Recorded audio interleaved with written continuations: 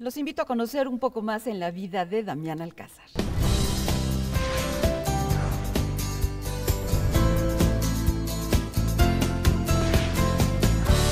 Qué gusto poder platicar contigo. Gracias por la oportunidad. Tienes una agenda llena y te agradezco estos minutos. Encantado, Vicky. Bienvenido a Puebla. Muchísimas gracias. Has aparecido en seis películas extranjeras, en innumerables películas mexicanas.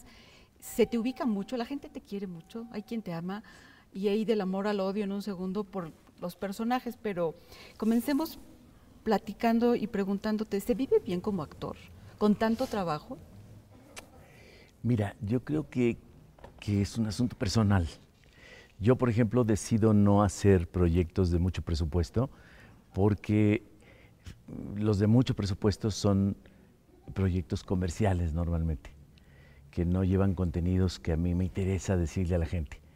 Entonces, si a mí me interesan esos proyectos de contenidos fuertes, tienen muy bajo presupuesto. Por lo tanto, mi, cuenta bancaria siempre está en números rojos y se va al azul y al rojo. Así me la paso todo el tiempo, pero estoy feliz, soy un afortunado de hacer las historias que hago. Por otro lado, hay otros actores que se dedican a hacer cosas comerciales, lo hacen muy bien y viven muy bien. Te voy a contar una anécdota para que, que enmarca perfectamente esto que me preguntas. Un día voy caminando por Coyoacán y voy a esperar mi pecero, ¿no? Porque uso el... Democrático. Por, supuesto, el metro, el metrobús, el, lo que sea. Cada vez menos porque me canso. Me canso de fotos y demás y bueno, sí, es cansado de repente, que es todo el día. Pero entonces voy rumbo a mi pecero y se para un coche último modelo. Damián Alcázar, se baja un muchacho así. ¿No?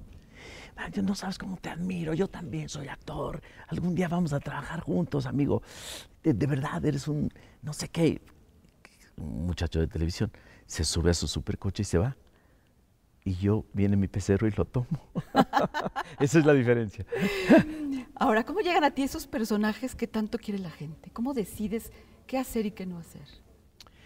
Yo creo que, que el público es un ente de miles de cabezas, consciente, sensible, inteligente, y siempre hay que respetarle y siempre hay que darle lo mejor, porque él te agradece lo mejor. A veces, si, quien no le da lo mejor puede engañarlo una, dos, tres veces, pero al ratito ya te ubican perfectamente. Entonces tú tienes que darle lo mejor y en ese sentido, a mí las cosas que me dicen en la calle son sorprendentes.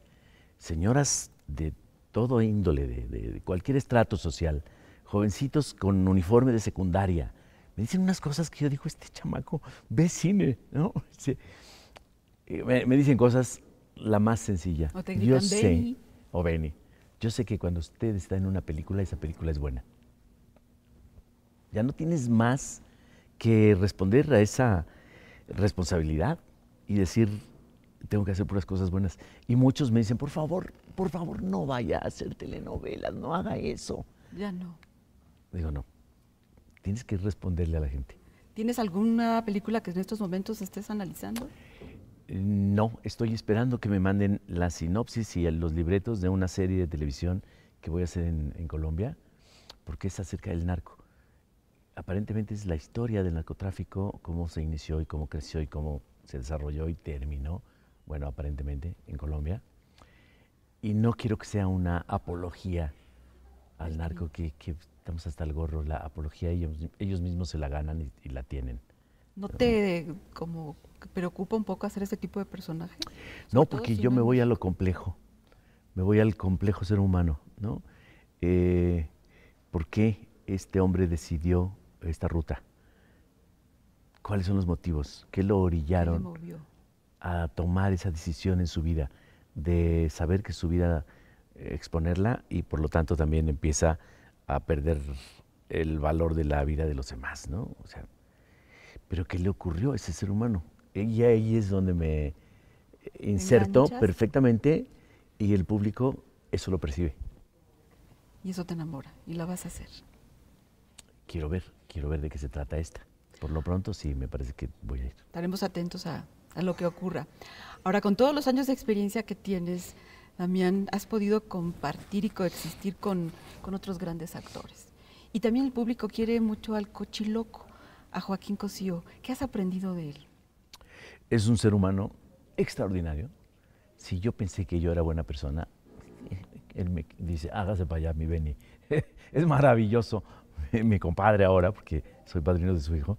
Eh, es muy profesional también, sabe hacer las cosas y es muy eficaz, pero principalmente, es, eh, y lo admiro como actor, por supuesto, es uno de los actores mexicanos que, que más me gusta, y principalmente como persona, sí tiene toda mi admiración.